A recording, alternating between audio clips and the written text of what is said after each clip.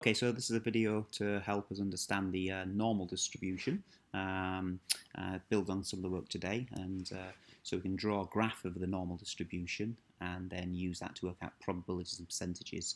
Uh, now, look, I've got loads of tabs open here, okay, so I'm, I'm just going to go back to um, uh, the, the very basics. So one of my tabs up here, I've got actually x as a variable here, um, and this was the, uh, the, the heights of my plants, a sample of seven from my fictitious greenhouse. Okay, and this is a sample of seven from you know hundreds and hundreds of plants in the greenhouse.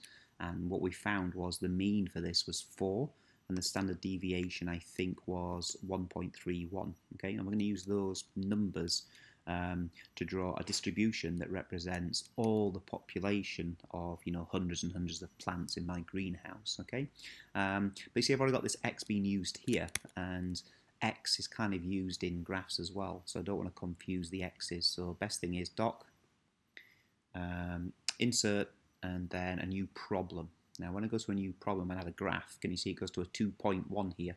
So all the one points are together, and that includes the spreadsheet and the previous analysis. The 2.1s now, is a fresh start. So I'm going to draw a graph. Norm, norm PDF, Remember, Carl Friedrich Gauss designed this, so it's a beautiful bell shape and it's got perfect symmetry. And then we have to put the variable x. Think about when you're drawing, you know, y equals 3x plus 2. That's a straight line graph, isn't it? Um, so it takes something, um, it does something with the x values and it produces um, an output, a y value. Uh, we need two other numbers to go with that. We need the mean first and then the standard deviation. When we do that, we get this lovely curve.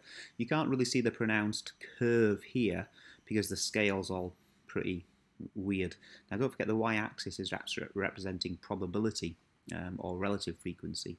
So let's go menu, window zoom, window settings, and I think you remember this was 0 centimeters up to 10, and then the y-axis, the probabilities, we were going to go from negative 0.1 up to 0.5 and press OK. So there you go. Now you get this nice shape of the graph. Now notice a few things. Um, if you see this peak here, this peak here happens bang on the mean. So this is x equals 4, 4 centimeters.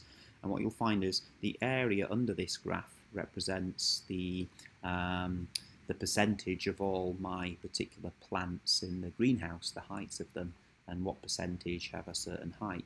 And because it's symmetrical, then you would say 50% of all plants have a height less than 4, and 50% of plants have a height greater than 4. Okay, so that's just the general shape of it. But now we're going to use this to find out various probabilities. So let, us just think about that. Let, let, I'll try it now actually. Menu, Analyze Graph, and we'll go for integral. So this works out the area and area represents probability. Okay, so on here, I'm going to work out the lower bound I'm going to do as 4 centimeters, press enter, and the upper bound I'm actually going to put as 10. Can you see the percentage here? It says I've got 0.49999, so that, that's just about 50% of all my plants in the greenhouse are between 4 centimeters and 10 centimeters. Okay, um, so I'm going to go back here and I'm going to click on and delete the number and that'll delete the area as well. Um, so what about how many plants, what percentage of all the plants in my greenhouse have a height, let's say, between uh, 3 centimeters and 4 centimeters? Menu, analyze graph, integral, type in 3, enter, type in 4, enter, and can you see that?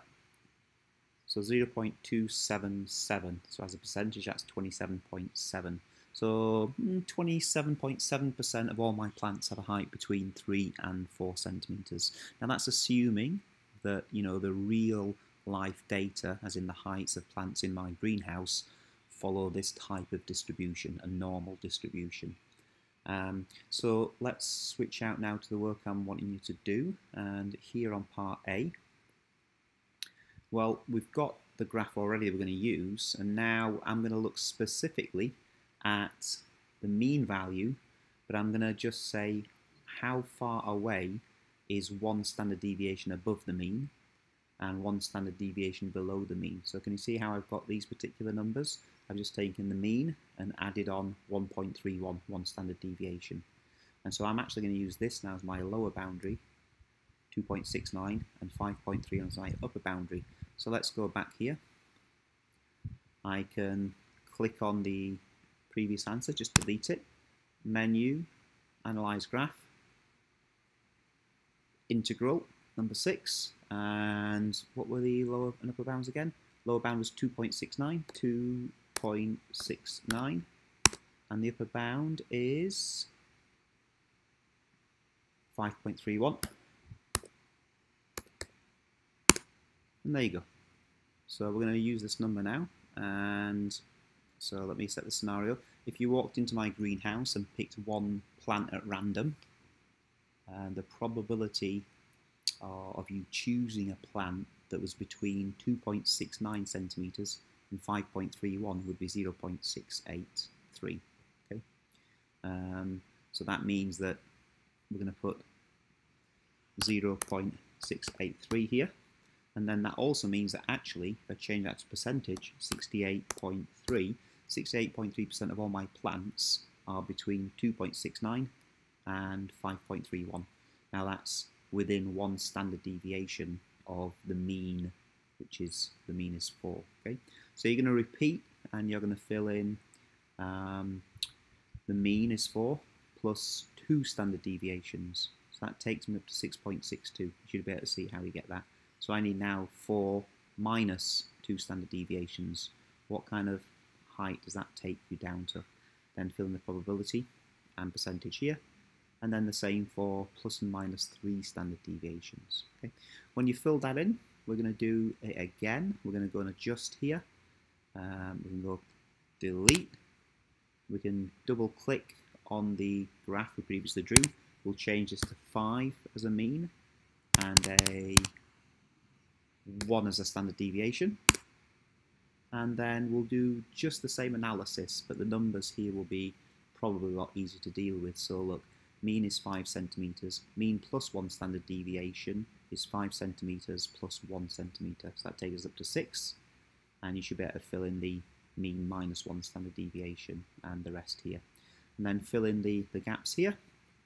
And once you've done that with a couple, I mean, you can do more if you want. Change this to anywhere between 5 and 10. Change the standard deviation here into, I don't know, anything between 0 and 3 um, and you can do the same analysis and it'll be interesting to see what probabilities and percentages you get here. Once you've done that, you're going to choose from these nine words, so you're going to choose eight of them to fit into the gaps, and one of them is a bit of a bogus word. Okay, so see how we get on with that.